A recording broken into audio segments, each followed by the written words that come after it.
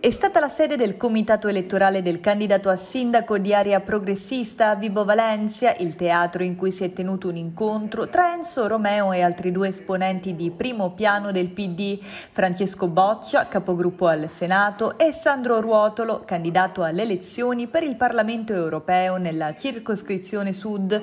Un dibattito sentito all'insegna della politica di prospettiva, anche in proiezione nazionale e regionale.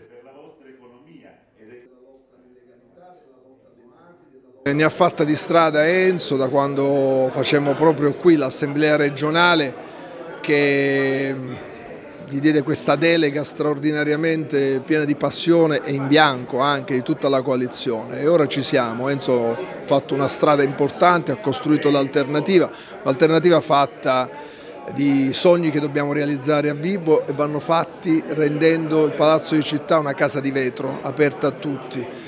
Enzo è stato l'unico sindaco che ha detto che i voti dell'Andrangheta non li vogliamo ma combattiamo tutte le forme di criminalità, tutte, da quella organizzata a quella minore. E io vorrei che tutti i candidati a sindaco dicessero la stessa cosa, l'andrangheta fa schifo, va combattuta, va debellata, va schiacciata. E noi siamo l'argine all'onda nera che c'è il rischio di avere diciamo, in Europa e siamo l'argine per ehm, dire, fare una battaglia meridionalista.